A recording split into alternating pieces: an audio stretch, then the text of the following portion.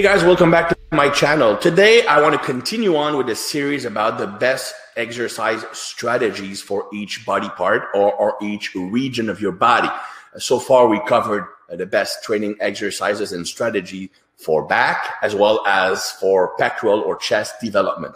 Today, the topic I want to cover is the best lower body training exercise strategy to maximize your gain, depending on your body type, because that's the main uh, the main point, the main focus of this series is that depending on your body type, you will respond better to certain exercises. Now, regardless of the movements you do, if you train hard, you will get some results from them. But if you want to really optimize your growth and your progress, then selecting the best exercises that fit your levers will be the ideal situation. Now, as we saw in previous videos, I, so I won't I won't talk about this for 10 minutes because the other videos were into greater details.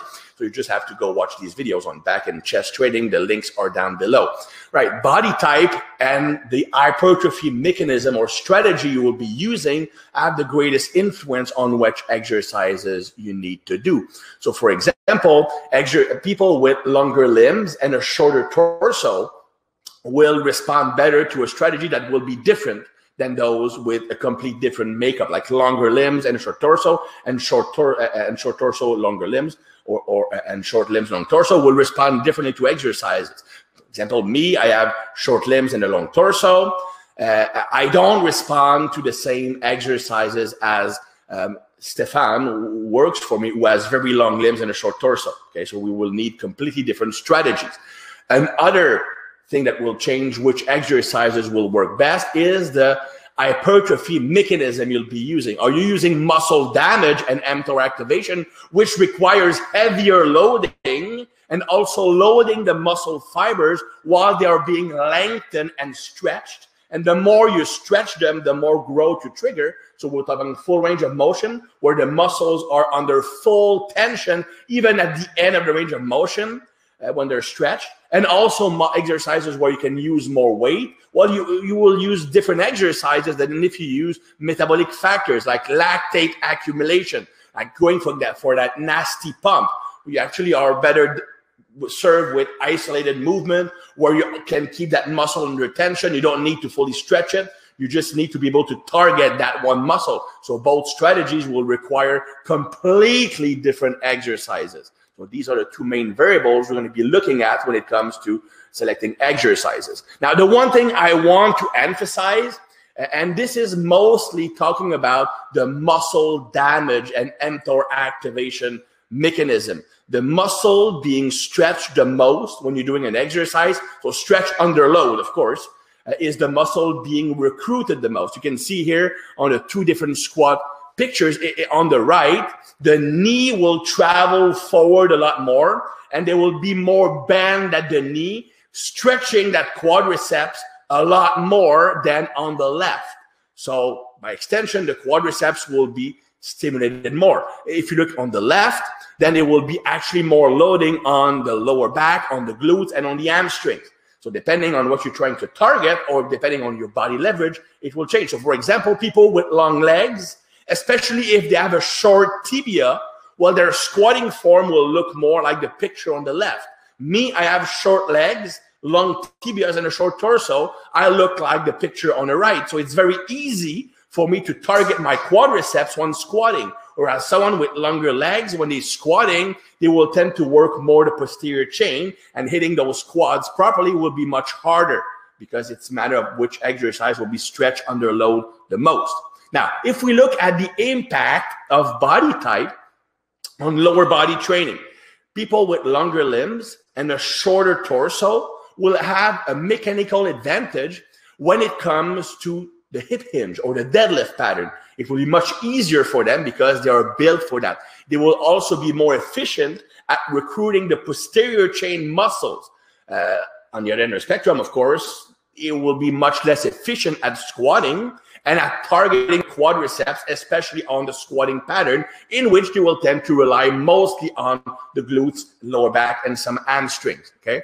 So when you look at their muscle dominance, someone with longer limbs and a short torso, the easiest muscle or muscles to develop will be the glutes and lower back. I include the lower back in, in, in that category, not because it's a lower body muscle, but because it will be stimulated in all the big basic barbell movements when you're targeting the lower the, the, the lower body.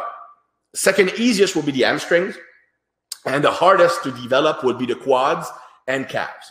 Okay, so you they will likely need more isolated work for these two muscles, and the exercise strategy will be need to be modified to try to put a little bit more emphasis on, on the quadriceps. So using uh, different strategies to give to put the quads in a better better mechanical uh, position.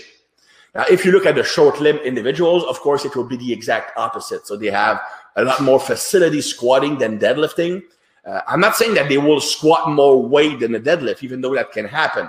Uh, for example, I'm training a, a world class female powerlifter, and she squats 220 kilos, so that's 484 pounds, and she deadlifts 210 kilos, which is 462. So she's stronger on squat than deadlifting. It's rare, but it happens. I was the same way. I could back squat 600 and I could only deadlift 585, which is really bad for someone of my strength or the strength I had. But because of leverage's issue, I was really bad at deadlifting. And I needed a lot of assistance exercises to make that deadlift go up, but I needed to only squat and nothing else to make my squat go up. So short limbs, much easier to develop the quads much harder to build the posterior chain. So if you look at the easiest to the hardest muscle, it's easiest for them to build the quads and calves. A lot of people with short legs don't even need to train calves at all. They own, and oftentimes they don't need assistance work or isolated work for quads. If they squat, they will grow their quads just fine. Second easiest would be hamstring. So they will need some isolated work for the hamstring, and it's harder for them to develop the glutes and lower back. Now, even when I was squatting 600 from squatting 500, I literally had old man butt. I had zero glutes. I mean, I wouldn't need direct glute work like hip thrust, like whatever, like the, the rope pull through. I'm I'm too old. I'm just not gonna do that. But if I wanted to optimize my physique, I would need to do that absolutely. So by the way, uh, I, I, talk about proportion. So for those of you who want to have an idea of what I'm talking about, just screen capture uh, this slide here. I have all the measurements. I'm not going to repeat all of them and explain them. It's going to be super boring, but we're basically looking at the ratio between your leg and your height, and it's a percentage. And you can also look at the tibia to femur ratio just in case you have legs that are of average length. Because if you look at the strategy here, short legs would be 40 to 43% of your height. Long legs would be 47 to 51. So anything between 43 and 47 would be an average length. Which strategy you use will depend on the length of your tibia. A long tibia will need will mean you will use the short leg strategy. A longer tibia allows you to stay upright when squatting, and it also makes the deadlift a lot less. Uh, lot harder because you can't raise your hips as, as much because if you raise your hips the, the knees will travel forward and they will be uh, in the way of the bar uh, if you have a short tibia and a long femur then you will be in the long leg category so I'm just going to let you review those data if you want to figure out which type you are. But honestly, most people will be able to tell just by looking at themselves in the mirror. Now, if we look at body type and exercises. So what I did here is I'm going to be looking at the four main lower body patterns you want to train in a program. You don't always have to train all of them, but it's certainly something that you want to train at, to some extent uh, in your training life. Uh, ideally, you have at least two of them in your workout. Okay, and then afterwards, uh, next slide, I'm going to look at uh, assistance exercises. So if you look at the squat pattern, so that could be any squat variation, it could be a back squat, a front squat, a Zercher squat, a dumbbell squat, goblet squat, lumberjack squat, any squatting pattern. People with long limbs will tend to do more of an hingy squat. They will tend to squat with a lot of forward bend, bringing the hips back to use the posterior chain. As it's much harder for them to keep an upright torso, especially on back loaded squat. So, for example, for them using a front squat would be more effective for targeting the quads because it will force them or facilitate standing upright. If you have short limbs on the squat pattern, you're naturally built for squatting. So all squat variation will be pretty much equal. To target the quadriceps. So you can rotate through them. Personally, I, I, prefer the back squat or the safety bar squat because I can load the most weight on them. And because I have short limbs, well, even a back loaded squat will not bring the posterior chain that much into the equation. So you have more freedom there. For the hinge pattern, okay, like a Romanian deadlift, like a deadlift, Longer limbs individual are well suited for that pattern. They will have no trouble emphasizing the posterior chain in those movements, so they don't need to rely on special variation. Any form of deadlifting, Romanian deadlift, deadlift from the floor, pin pulls, it, it will all work pretty well. Now, for the short-limbed individuals, uh, they will tend to want to squat their deadlift, meaning that they will bring their hips down and push mostly with their quadriceps to deadlift the weight up it will look more like a clean uh, Olympic lifting clean than, uh, than an actual hip hinge. It more, it's more of a, a squatty deadlift. So for that reason, it's much harder for them to develop the posterior chain when deadlifting. So they will need to use variants that forces them to use that posterior chain. We'll see that in the next slide. For the hip thrust, okay, the hip thrust again, I'm not a huge fan of the hip if you've been following me, but it's still a popular movement, especially on Instagram. And because I'm trying to get more followers and more subscribers, I need to include the hip thrust, right? Uh, well, for people with long limbs, the hip thrust is actually an effective exercise to target the glutes. It, it, it's mechanically speaking, they are well suited for it. But people with short limbs, the hip thrust actually is not a good exercise. They will always, always focus on quadriceps to compensate. They might get some quad, some some glutes activation at the very top of the movement if they focus on squeezing the glutes, but it will be mostly for them a, a, quad exercise. So it's not something I use with short limbs individual. And because I have short limbs, and I never got good results every time I tried the hip thrust, it was always in my glutes. That's probably why I don't tend to use it much. For single leg movement, lunges, step squat, split squat, whatever, the long limb individual, they will have a natural tendency to rely on the glutes. Okay, so any type of lunges, split squat, whatever. So they need to make technical adjustment to properly focus on the quad, or in other words, to get a greater stretch of the quads than in the glutes, so that they can actually get the quad stimulation they want. Now, also interesting to know that people with longer limbs, they tend to respond better to unilateral work when you work one limb at a time than people with shorter limbs. Now, people with shorter limbs will naturally want to rely on quadriceps when doing the, the, the any type of single leg work. If they want to use it to target the glutes, which they probably will because it will be the lagging muscle, they will need to make technical modification to force a greater stretch in the glutes than in the quadriceps. So if we look at what it can look from a, an exercise selection perspective.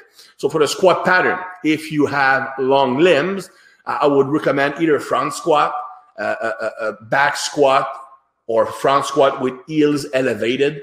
Uh, if they go with a back squat with heels elevated, I would use a very narrow stance and only go down to around 90 degrees so that they will focus purely on quadriceps uh, and not shift to the glutes.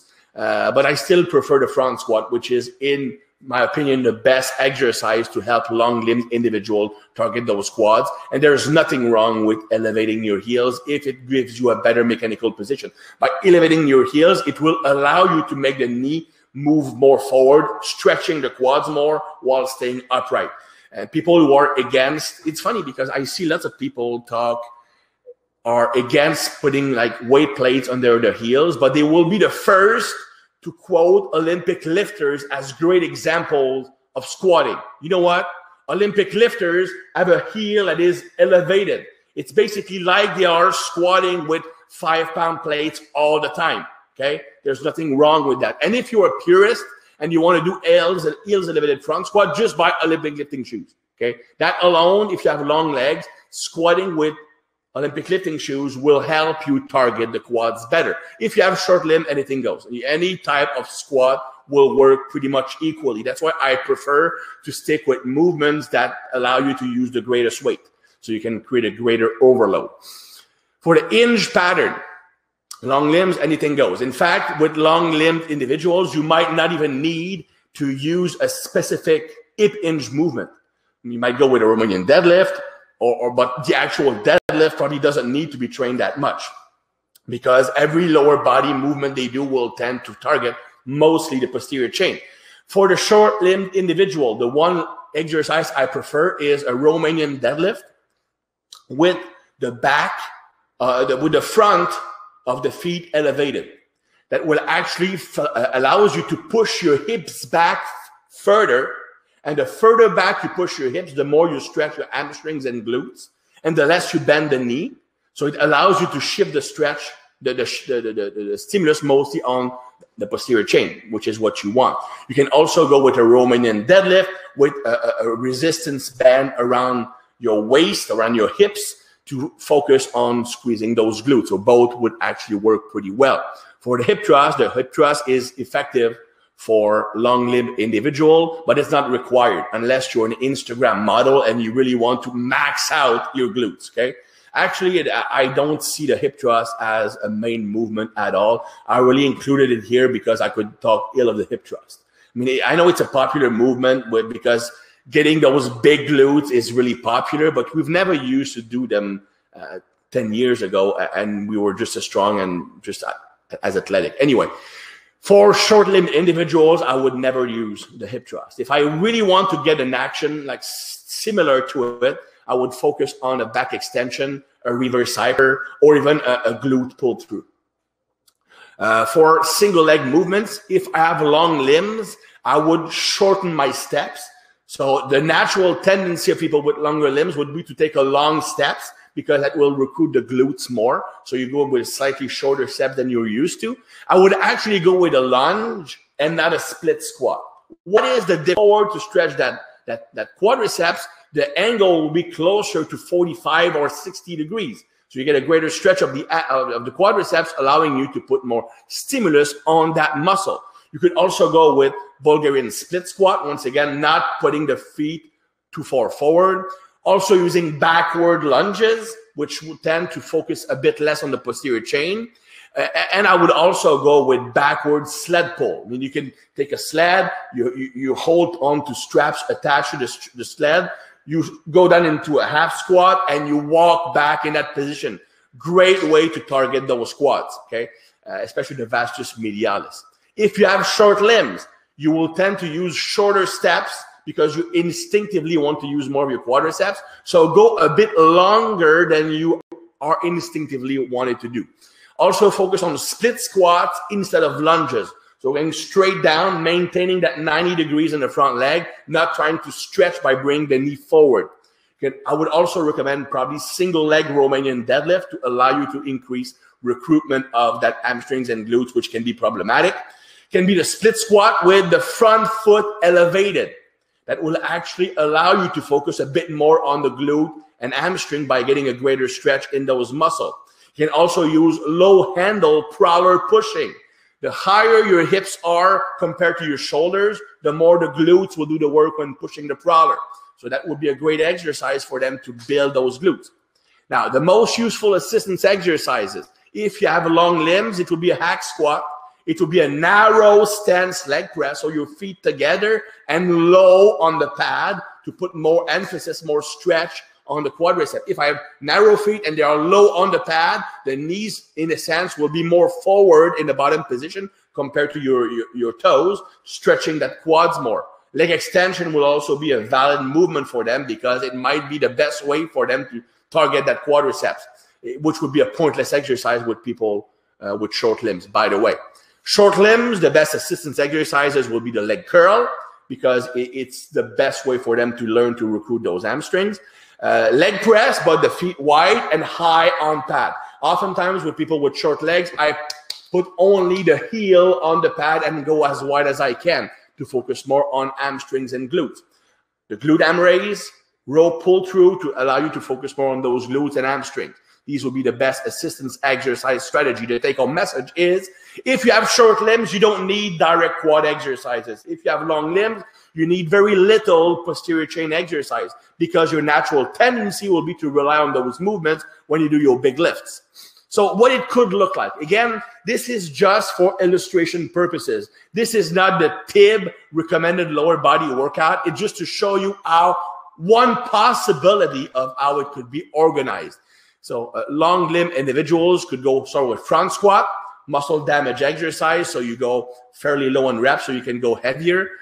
Lunges, eight to 10 reps per leg. Then you go with a hack squat, which was your first uh, assistance work, leg extension, and standing calf raise. Because normally people with longer limbs, they will need calves exercises, whereas the shorter limb individuals tend not to, to need them. Just like people with long limbs, they will tend to use to, to benefit from forearm work, and people with short limbs, they rarely need forearm work.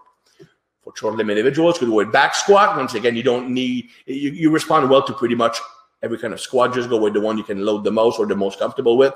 Romanian deadlift with the front of the feet elevated. Leg curl because you need direct work for the hamstrings. Or pull through because you need direct work for the glutes and the hip uh, thrust just won't work for these individuals. And I would have back extension at the end. People with short limbs, they have a longer torso. So the lower back can actually needs to be stronger because if you lean forward, let's say on a deadlift or whatever, because your back is longer than people with short limbs, and you lean forward, then that back needs to be stronger because the the the end of the move, the pivot is much longer, so it increases the work the back, the lower back needs to produce. That's why, for example, Chinese Olympic lifters, they do tons and tons and tons of lower back work because they have a much longer torso than, let's say, Russian lifters who tend to have short torso and long limbs. People with short torso, they tend to have a back that is strong enough for their levers because it doesn't need to be as strong as people with the longer back. So these are my exercises strategy for lower body depending on your body type. See you next time.